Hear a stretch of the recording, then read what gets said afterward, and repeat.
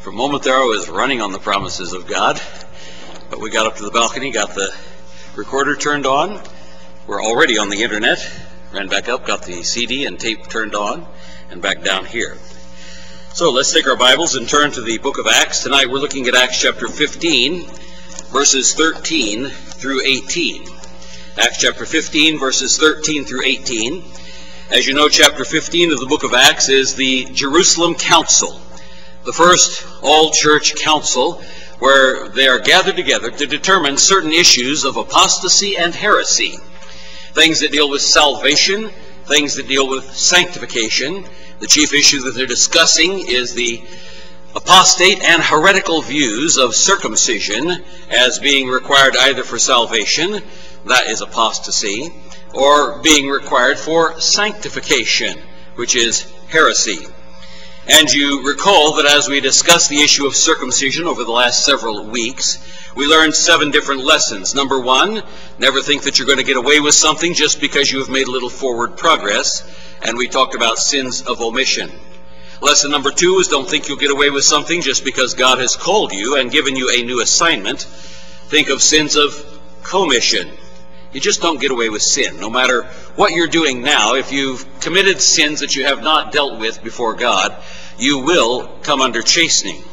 Lesson number three was don't think that God will not embarrass you in front of other people, because shame is one of the things that He uses to bring us back into line. You will be discovered. Be sure your sin will find you out. And you recall that with Moses, uh, it happened at an inn where God tried to kill him, not in some desert place. Lesson number four, God is serious about his commands to the point of killing you. One of the commands given to Abraham and his descendants through Isaac was circumcision. It was the mark of distinction for the Jewish people. Moses was going to be their leader. God had sent him to go and bring the children of Israel out of Egypt, and he was supposed to set an example. So don't take God for granted and think that you can ignore what he commands that applies to you. That command doesn't apply to you, but that is the principle that we learned there. Lesson five, don't let peer pressure or even your spouse cause you to neglect what God has told you to do.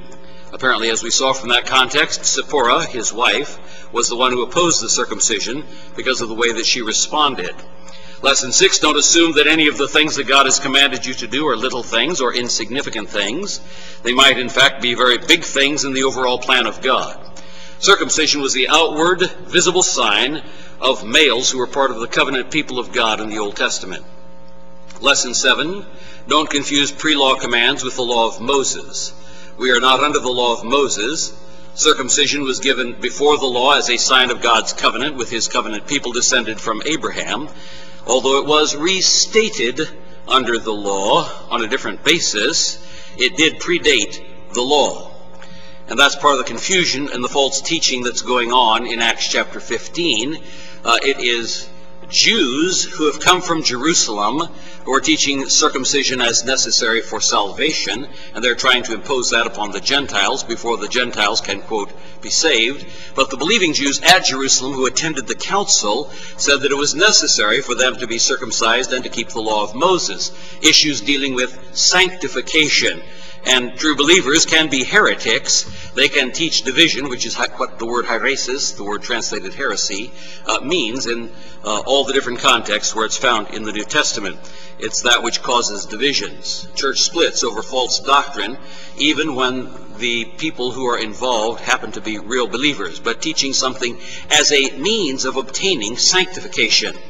Not a means of obtaining salvation, that's apostasy but means of obtaining sanctification, that's heresy, distinct things. Theologically, we talked about transdispensational principles, something that may be established at one point in time that continues to remain even when God makes some changes in his household structure or household economy, as he clearly does at various points in Bible history. The term that the New Testament uses for that is dispensations. We saw that the term dispensation simply means household law and the head of the house can change rules at different periods of time. We gave you several illustrations. For example, the father does not have to have a rule that his five-year-old cannot drive the car during the week, but only on weekends. You don't give that rule to five-year-olds.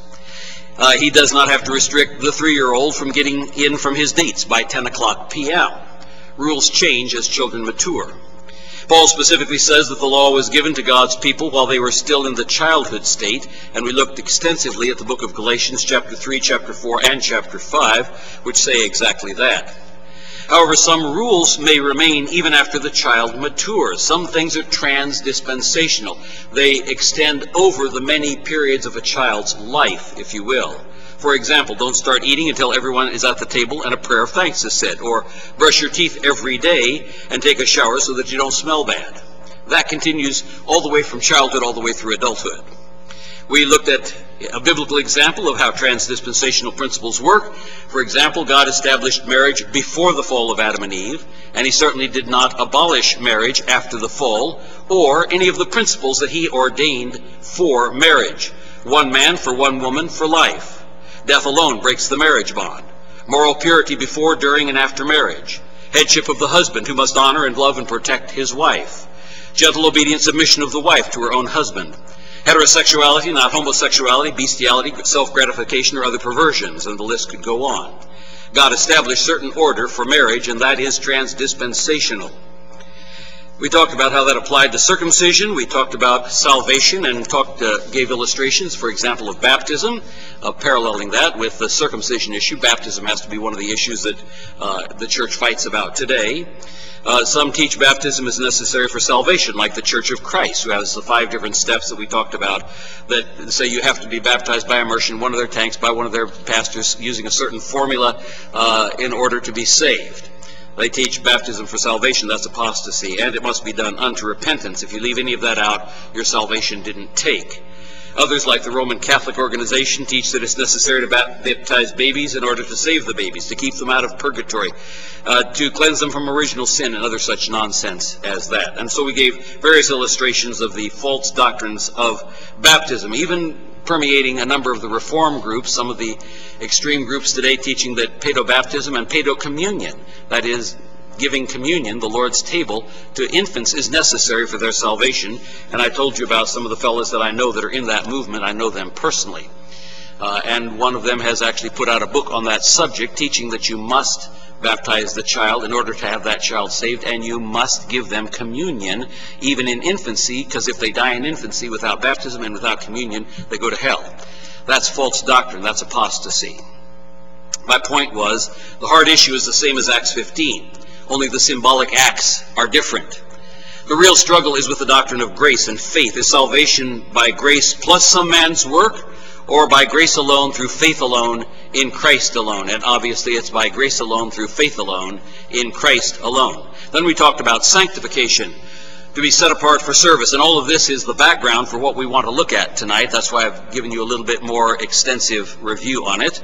The second group that we looked at in this passage here in Acts 15 uh, gave an illustration of people who taught that works of obedience were necessary for sanctification. You will find that phrase, works of obedience. Uh, and yes, we are supposed to be obedient. Is that what produces sanctification? Emphasis on does it produce it, or is it the result of the Holy Spirit setting you apart and working in your life? Do you work it up yourself by going through the actions and then you are sanctified? Or does the Holy Spirit work in your heart and life to bring you in spiritual growth to a set apart position whereby you are manifesting the fruit of the Spirit, not the works of the flesh? And we pointed out that there are, we could use those same illustrations, baptism, Lord's Supper, whatever your illustration happens to be.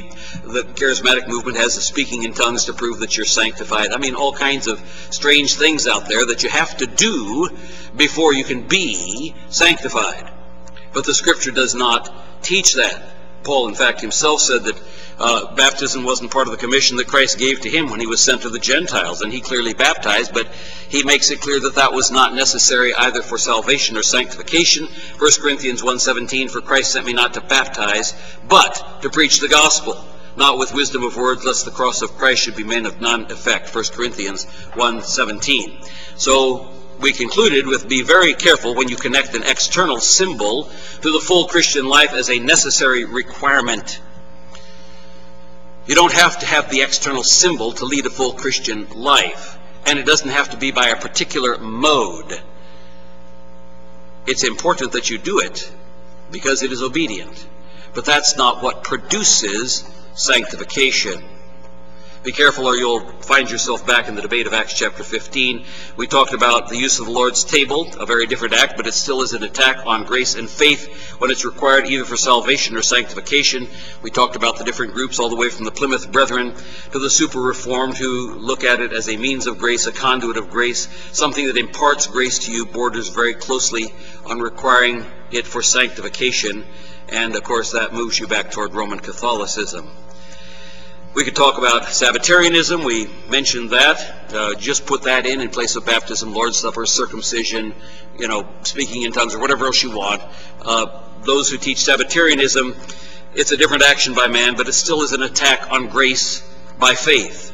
And I mentioned a number of years ago of one Reformed Baptist family that I knew that only ate cold cuts on Sunday because they considered Sunday to be the Sabbath. In the Old Testament, you could not light a fire on the Sabbath. Ergo, you could not cook on Sunday. Ergo, modern Christians must eat cold cuts on Sunday. Now that's a stretch, you know, moving through that uh, thing, but that's what they did because they were applying Sabbatarian law to the New Testament. They didn't understand the concept of grace and faith. And I have a very interesting co-pastor here this evening. Uh, that's quite all right. As he runs around there, just pay attention to this. Any teaching that requires any external act of man to obtain salvation or sanctification is either apostate or heretical. Apostasy, which means apostasia, means a falling away, relates to salvation.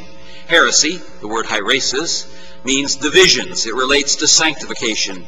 And I gave you a chart last week I hope you remember it. I'm not going to go over it in detail tonight. But there is Jewish apostate legalism, which requires the law of Moses, or some aspect of the law, such as circumcision, for salvation. There is pagan apostate legalism, which requires some external work performed by man for salvation baptism, Lord's table, speaking in tongues, keeping rules of the church, making pilgrimages to Rome, crawling up the Scala Sancta on your knees, kissing the silver cross in the stairs where theoretically Christ fell. I mean, you can go through the whole list. There are all kinds of works of men that different organizations require for salvation. That's pagan apostate legalism. Heresy relates to the false doctrine of sanctification. Also, we saw there are two parallel types of heresy. Number one, Jewish heretical legalism, which requires the law of Moses, as we see in our text in Acts, or some aspect of the law, for sanctification. It is needful for them to be circumcised and to keep the law of Moses, verse 5 in our text. Or pagan heretical legalism, requiring some external work performed by man for sanctification, and you can go through that entire list that we just gave to you a moment ago. And then I gave a caveat. Many people twist the freedom from the law to deny grace in another way. You can be on the top, walking along the top here, or you can fall off to the right, which is into legalism, or you can fall off to the left, which is in libertinism and licentiousness. And so people say, we're no longer under the law, so therefore we can sin that grace may abound. God forbid, how shall the we who are dead to sin live any longer therein? The freedom from the law is not the right to do what you want. Freedom from the law means the right to do what you ought. And that's very important for us to remember. It is not the freedom to wallow in sin. It is freedom from the bondage of sin. It is freedom from the curse of the law. The law does not save you. The law does not sanctify you. All it does is condemn you. But our freedom comes from the fact that we are indwelt by the Holy Spirit of God. We are empowered by the Spirit of God to do works that are pleasing to God in obedience to the Word of God and to the glory of God. You cannot do that in the flesh, no matter how hard you try. It will never work. In the power of the Holy Spirit to the glory of God, in obedience to the Word of God. God still has a righteous character and righteous standards based on that character, but the approach is different. It's not the law, and it's not libertinism or license. The four types of legalism described in the Bible does not deny holy living. It does not deny the clear teaching of Scripture that the church must have certain order for effective testimony and functioning of the church and a testimony before the world. Rejection of the four types of apostasy and heresy is not a call to approve of libertinism or licentiousness. It does not eradicate the necessity for structure, moral purity, decency, and order which God has ordained for the church. And so we talked about the application to circumcision, and we talked about after the cross, it is not the law that directs us, but the grace of God. We gave illustrations of that. We talked about Abraham was not saved or sanctified by circumcision because he was saved by faith before he was circumcised. However, he was then circumcised as a sign that he had believed the promises of God. Same with baptism, Lord's table, anything else that you want to name. The key issue is your relationship of, uh, with God by faith. And then we talked about key verses in Ephesians 2, 8, and 9. We're going to get verse 10 tonight. Uh, as we go on to that, works follow salvation, they do not produce salvation. Works are an external manifestation that the sanctifying work of the Holy Spirit is occurring. Works are not a means of achieving sanctification, like salvation, sanctification is by grace through faith. And Paul says so specifically in Acts 26, verses 17 and 18, delivering thee from the people and from the Gentiles, unto whom now I send thee, to open their eyes and to turn them from darkness to light, and from the power of Satan unto God, that they may receive forgiveness of sins and inheritance among them which are, here's the phrase, them which are sanctified by faith that is in me. Sanctification is by faith the same as salvation. Sanctification is grounded in the cross. It is not grounded in the work of men. Sanctification is grounded in the grace of God alone. It is achieved by faith alone in the finished work of Christ alone. Hebrews 10:10 by the which will we are sanctified through the offering of the body of Jesus Christ once for all. And that's very quick overview from last week. That brings us to our verses for tonight, verses 13 through 18. And after that they had held their peace, James answered, saying, Men and brethren, hearken unto me. Simeon, that's Simon Peter, hath declared how God at the first did visit the Gentiles to take out of them a people for his name. Remember, this issue that's being debated is do we have to require the Gentiles to be circumcised either for salvation or for sanctification? And so here he's quoting Simon Peter, who has just given his testimony in the preceding verses. Simon hath declared how God at the first did visit the Gentiles to take out of them a people for his name. And to this agree the words of the prophets, as it is written, After this I will return, and will build again the tabernacle of David, which is fallen down, and I will build again the ruins thereof, and I will set it up. That, verse 17, that the residue of men might seek after the Lord, and all the Gentiles We'll see where this quote comes from in a moment. Upon whom my name is called, saith the Lord, who doeth all these things. Verse 18, Known unto God are all his works from the beginning of the world, and that includes the calling of the Gentiles. God could have, and he did not, but he could have restricted the gospel to the Jews. God made certain choices that in eternity past that would include you and me here tonight. This church would not exist if God had not had Acts chapter 10 happen with Cornelius and his household. God extended the gospel to the Gentiles. He prophesied that it was going to happen in the Old Testament. That ingathering of Gentiles was first prophesied in Isaiah chapter 59 verse 20 and Isaiah chapter 60 verses 1 through 5. The Gentiles shall come to thy light, and kings to the brightness of thy rising. You all know that particular phrase because you've heard Handel's Messiah. Gentiles shall come to the light, and kings to the brightness of thy rising. That's part of the music. Marvelous, fantastic understanding that the librettist who wrote the, chose the passages for Handel to write the music to about the Gentiles coming in. Lift up thine eyes round about and see. All they gather themselves together. They come to thee. The forces of the Gentiles shall come unto thee. That's Isaiah. Daniel chapter 7 verses 13 and 14 alludes to this also. And there was given him a dominion. This is Nebuchadnezzar speaking here. And glory and kingdom. And this is after Nebuchadnezzar is coming out of his animal state after having talked about how proud and how great he was for building this great Babylon. There was given him a dominion and glory and a kingdom, and all people and nations and languages, that's Gentiles, should serve him. His dominion is an everlasting dominion which shall not pass away, and his kingdom that which shall not be destroyed. And of course, there are many other passages in the Old Testament that give allusion to the future salvation of Gentiles, but that gives you a, a general representation of them. But he talks about here, as James is speaking and as he is giving the background for the fact that Gentiles are going to come to salvation, he says, And to this agree the words of the prophets. And then James not only makes the general allusions, but he gives a quotation This shows you how well these folks knew their Old Testament. I suspect that if I asked any of you tonight to quote some verses out of the book of Amos, you couldn't do it. But that's where this quote comes from. It's Amos chapter 9, verses 11 and 12. And notice something else here, too. We've talked about this in a great deal of detail as we looked at Paul's presentation of the gospel. Whenever he came to a place that there were Jews and a synagogue, he would go in and he would start immediately making a, a, an argument, making a sermon based on their knowledge of the Old Testament. When he preached to the Gentiles, he didn't start there. He started with creation because they had the light of creation, and Paul explains that theologically in Romans chapter 1, verses 18 and following. But with the Jews, he started with Scripture. Not starting just with creation. You remember when Paul got stoned, right before he got stoned to death, uh, the priest of Jupiter was trying to come out and offer sacrifices to Paul and Barnabas because of the healing that had just taken place. And Paul and Barnabas ran in among them, tore their clothes, said, Don't do it because we're just men like you are. There's a God in heaven who created everything. They went back to creation because they had a pagan audience who at least would understand that Almighty God is there. He's the one who created everything. To him we have to give an account someday. That's not the way you worship the true God. But here we find James quoting Scripture. Why? Because he has primarily a Jewish audience. He has the council at Jerusalem. He has those who are leaders in the church at Jerusalem. He has men who have studied the Scripture. We have the apostles and we have James and we have some other church leaders there at Jerusalem, elders who have been appointed in the church.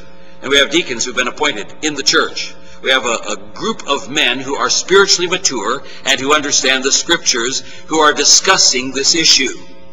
And so he quotes Amos chapter 9, verses 11 and 12. In that day will I raise up the tabernacle of David that is fallen, and close the breaches thereof, and I will raise up his ruins, and I will build it as in the days of old, that they may possess the remnant of Edom, Edom, and of all the heathen which are called by my name, saith the Lord that doeth this. The heathen are the Gentiles.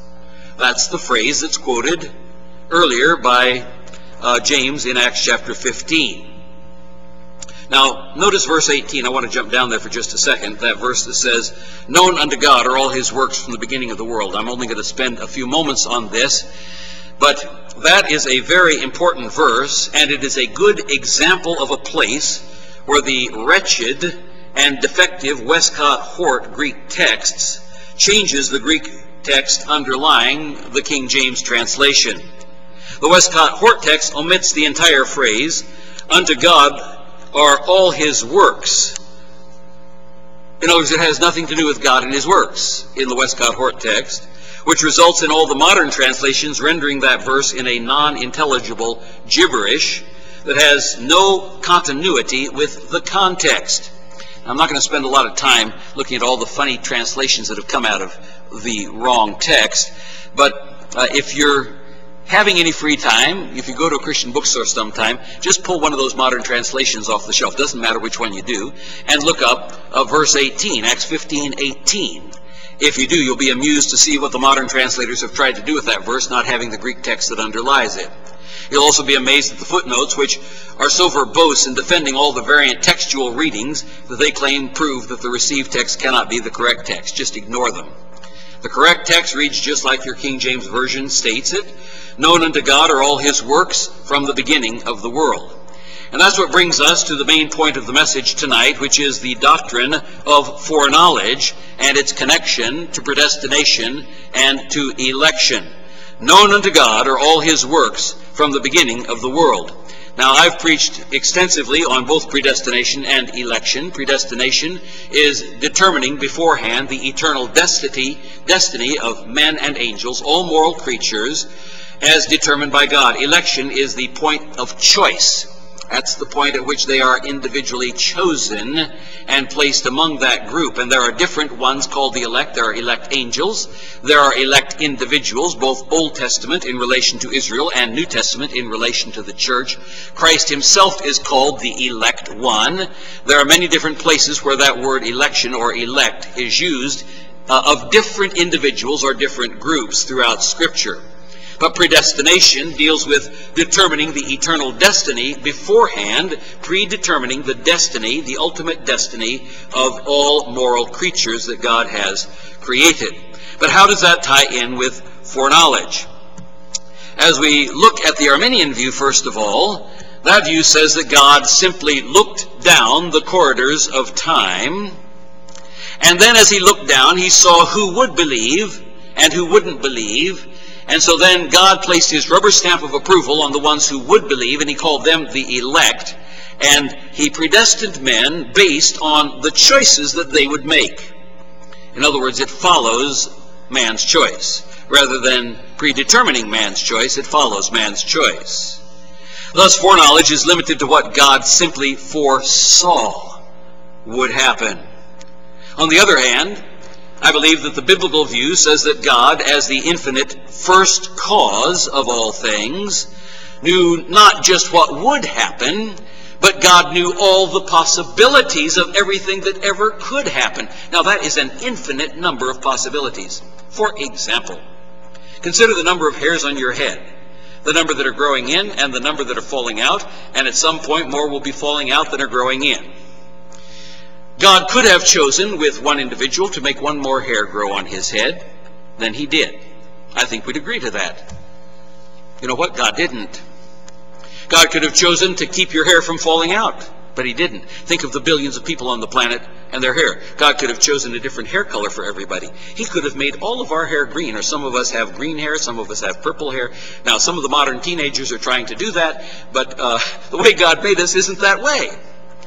God could have made us have three eyes, one in the middle of our forehead. He didn't do that. You see, there are an infinite number of possibilities concerning what God could have done. But he didn't. Because his ultimate purpose was to bring glory to himself. Scripture states that specifically. And everything that we do is to be done for the glory of God. Multiple times in the New Testament we're told that. God chose one of the precise and specific plans of all the plans that could have been. He chose one precise, specific plan because that was the plan in which every action, every activity, every thought, word, every motive, everything about the creation would ultimately bring him the greatest amount of glory. You see, that's the ultimate goal. Now we think of that as selfish because we're sinful creatures. But for the infinite, almighty, absolutely holy, absolutely pure God, it is not at all selfish. All things must bring glory to God. And any other viewpoint is rebellion against what God has revealed concerning himself, concerning his character, concerning his nature, concerning his ultimate goals, which is that he will be glorified in all of creation. Even though we don't understand it, he will be glorified even by sinners. That's a very important thing to remember. You think about the worst sin that men ever committed, and that was crucifying Christ, nailing him to the cross. And yet it was at that point that God gave man his greatest gift.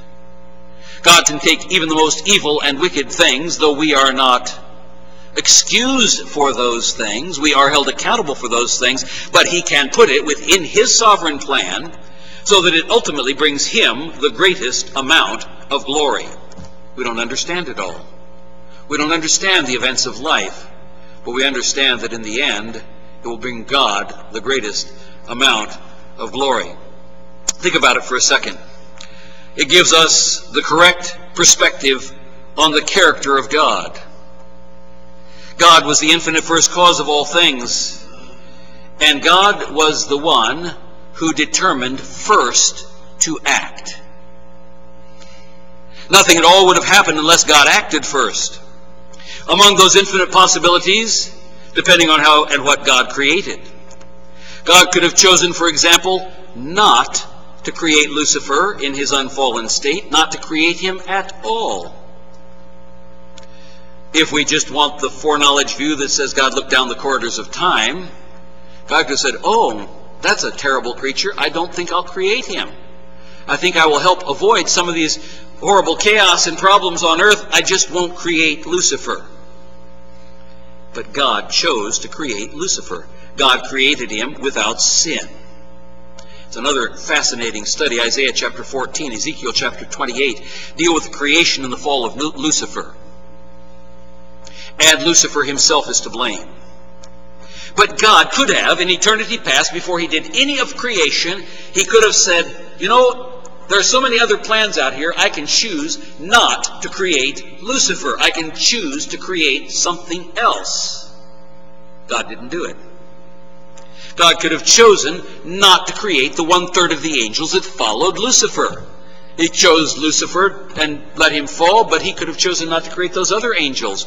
And then Lucifer would have had a very, very hard time accomplishing anything. All by himself, he's a creature. He can only be one place at one time. He's limited in his power. He's limited in his scope of knowledge. He is a creature. He is not the creator. He tries to be like the creator, but he can't.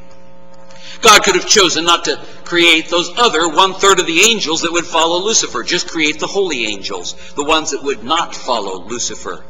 God did not choose that plan. God could have made other choices. He could have eliminated the possibility of having a tempter in the Garden of Eden. He could have either not created Lucifer or just kept him out of the garden. You see, God was under no obligation to create anything, and certainly was not under obligation to create a spirit being who would sin and become Satan.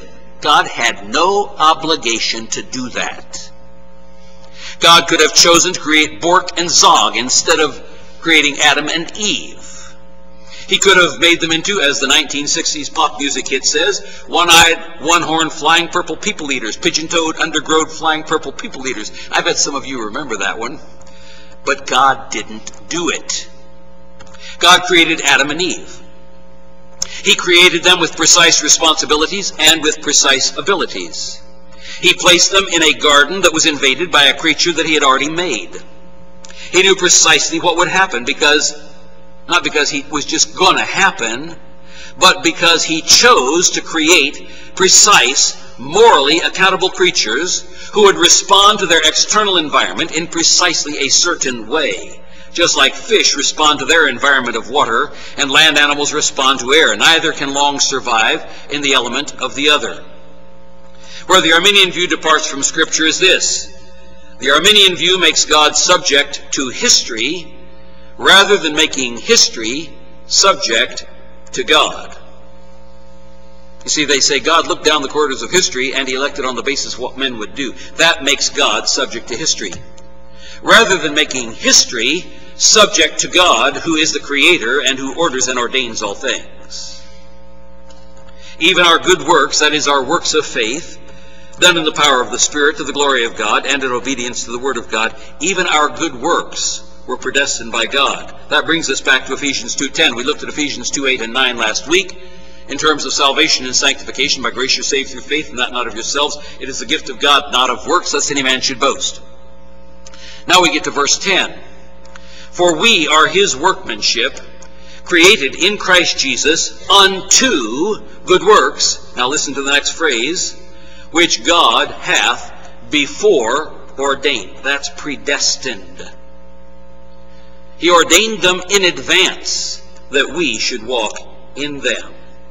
Even our good works were predestined by God and also empowered by the Holy Spirit because you cannot do good works in the flesh.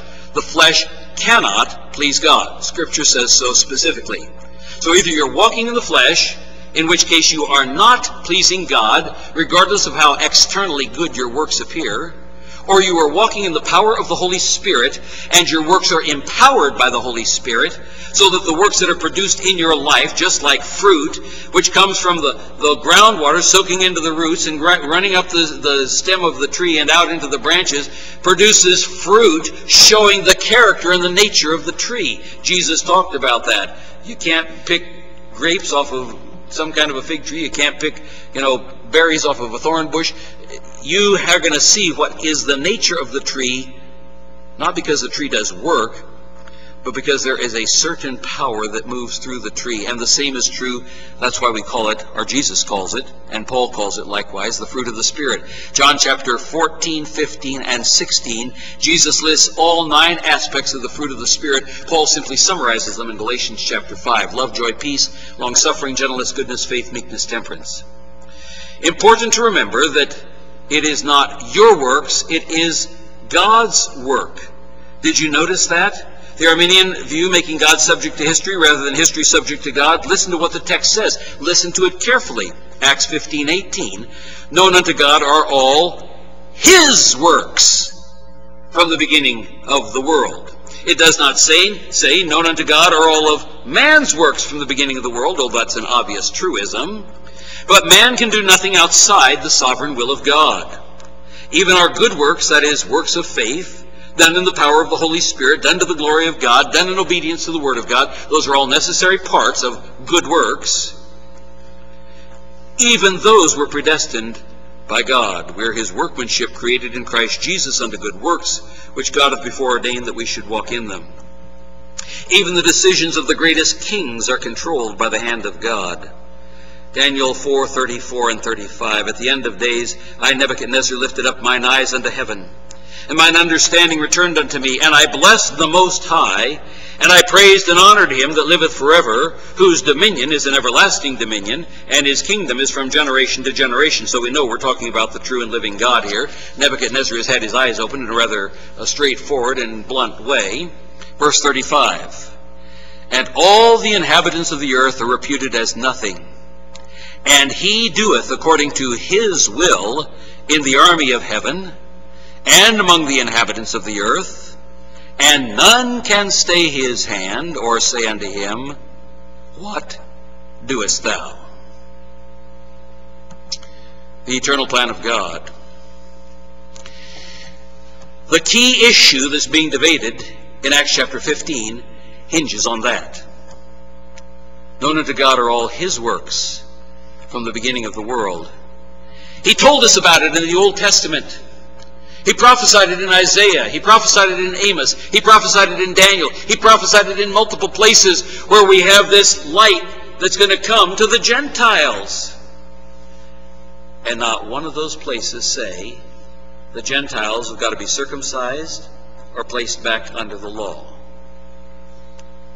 And so as Peter gives his testimony, it is an authoritative testimony because God chose Peter the apostle to the Jews to be the one who brought the Gentiles into the body of Christ.